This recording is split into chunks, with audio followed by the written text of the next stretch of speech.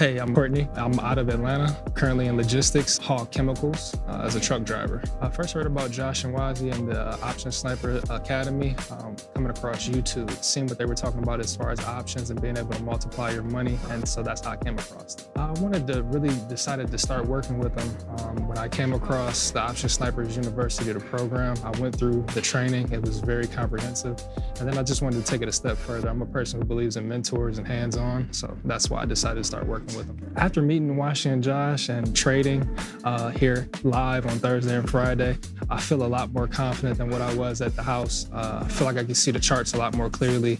I got a better understanding and perspective of what I'm doing out there in the market now. My thing is, I'm not here to sell you anything. It's more of a personal decision. So if you definitely want to change your life and take a step in the right direction, I think this is the move that you should go in.